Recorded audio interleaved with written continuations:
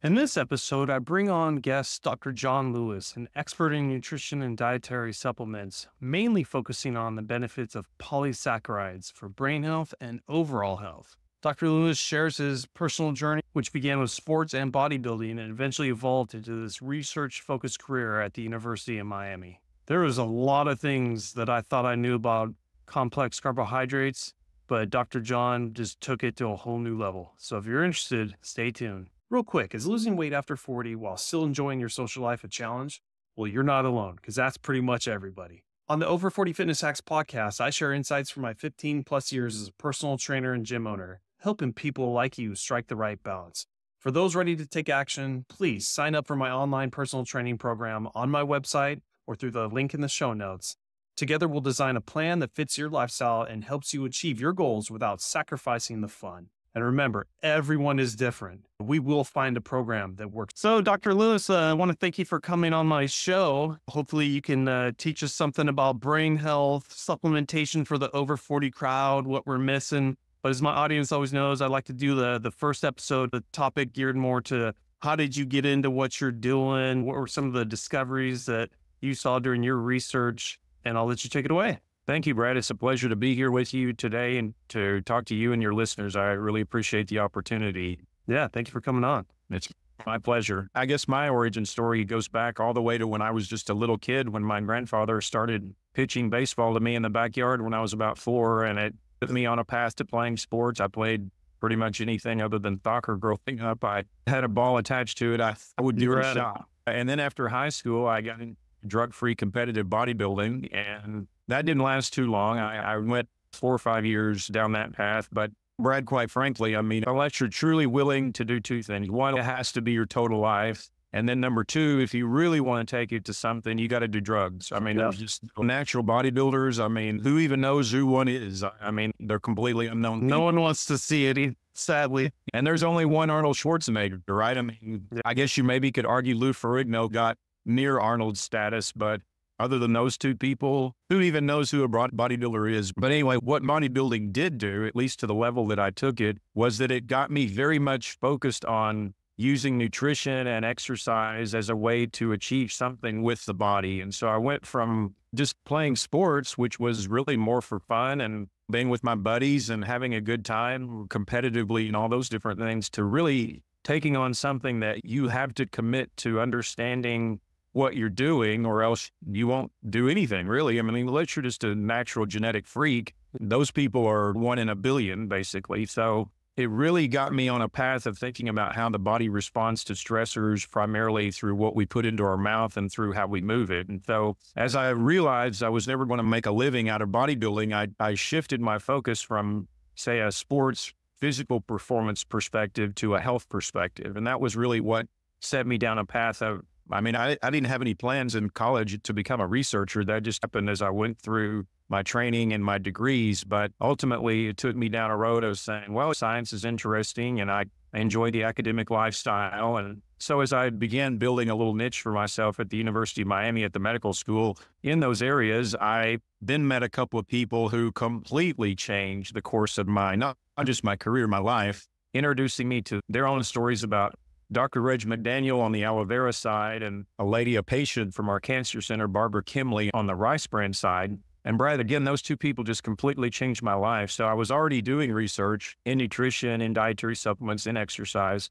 But then when I met these two folks and they shared with me their experiences, again, it took me on a whole different level. So I say all that to say that my story is, I guess, like a lot of people, it's long, it's evolving. I know my dentist, as a comparison, my dentist said when he was a little guy, he knew from a very young age he wanted to be a dentist. I was mm-hmm. that was not my story, or and I guess a lot of people aren't like that. Again, I've sort of been like a chameleon as I've passed through stages in life. I would meet people that would have an influence on me, or I would find their perspective interesting, or something that I wanted to pursue. And then I've just been on this long and winding road, as the Beatles said. And so I'm still on a long and winding road. Absolutely. It seems similar to my story, but you at least got it to opening up your world and discovering other people and peers that kind of took you down different avenues where I didn't really hit that until I started more of this podcast because I was more on the running a business and personal training. And a lot of our clientele only really cared about aesthetics. So you got to give them mm-hmm. what they want. And finally,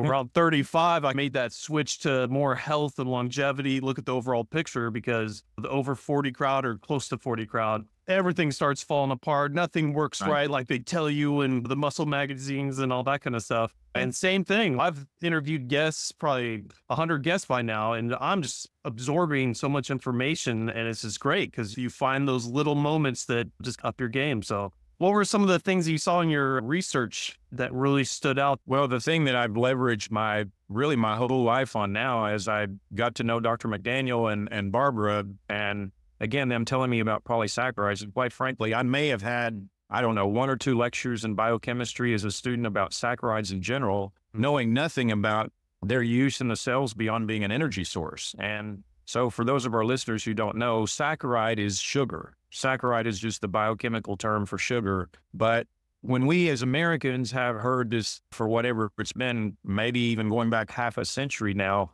sugar is bad. Like anybody in our country, you hear the word sugar, I would guarantee 99 out of 100 people are going to immediately think bad. You don't even consider the idea that some type of sugar could be good for you. So this is an interesting moment where, as psychologists say, it's a teachable moment where I like to share with people that as a scientist, as a writer, as somebody who's very particular about our language, I want people to be careful about use, the use of the word sugar because, again, you hear all these talking heads talk about how bad sugar is for you, but all they're doing is lumping every single sugar into the same bucket. So, yeah. sugars have two primary characteristics that distinguish goodness versus badness, if you want to call it that way. So, you have monosaccharides that are the simplest form of sugars like high fructose corn syrup. Yeah, I think most people would agree if you're eating high fructose corn syrup every day, that's probably not a good idea. It spikes your insulin, it spikes your glucose, it causes all these other metabolic complications that ultimately will set you up for type 2 diabetes, heart disease, cancer, all the above. So that's definitely a sugar that we want to avoid for the most part, if not completely eliminate.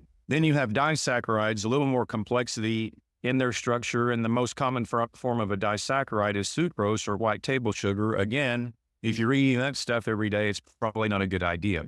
And then finally, you have polysaccharides, which are literally hundreds of glucose units attached together by these glycosidic bonds. And Brad, they're so complex in structure, you cannot even draw them on a paper. I mean, they're yeah. like, they're almost like 5D models. And so these things are so complex. And the ones that my colleagues and I have studied on for all these years now, nearly going back 20 years from aloe vera and rice bran, are just unlike any other material that I think Mother Nature provides for us in terms of potential health effects. So I say all that to say in defining different sugars is please be mindful and careful of use of the word sugar. It drives me nuts every time I hear somebody just make this blanket generic statement, sugar is bad for you. That is ignorant, uninformed, completely wrong statement. You have to define the type of sugar. So I'm trying to help bring this type of conversation to the front because it's very important, especially in this day and age where we've got vegans and carnivores going at it and yep. you know the crowd and the keto crowd and you still got holdovers from the Atkins era. Yep. Animal base, which is like a hybrid now. And I mean, you just got all these factions, but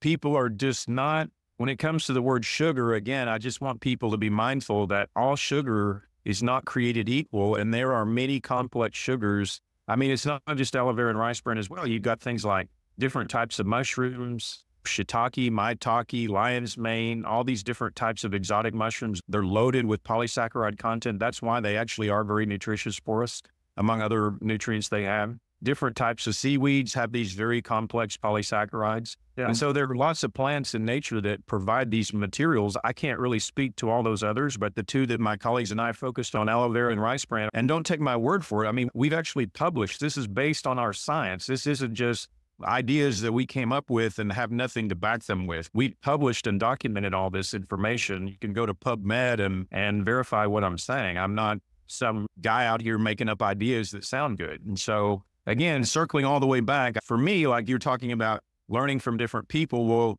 I mean, clearly what I learned from Dr. McDaniel and Barbara about these two particular polysaccharides totally changed not only my career, but my life. And so I've leveraged all that now into all this research that we've conducted. And I'm happy to go into a little more detail, especially the one about Alzheimer's, if, if you think that would be of interest, since we're talking about people at the mid age point or even a little bit older in terms of the folks that you work with and focus. Yeah. Real quick, I know from at least my perspective as the personal trainer, our thing, I still probably lump more than I should into that sugar bin, like you were saying, but at least we had simple carbs and complex carbs. Very Right. simple. All the Mhm. sweet sugar stuff and then fruits and vegetables and all that kind of stuff. At least that Sure. was a, a, a simple basis that we could give our clients and, and get that mindset in it.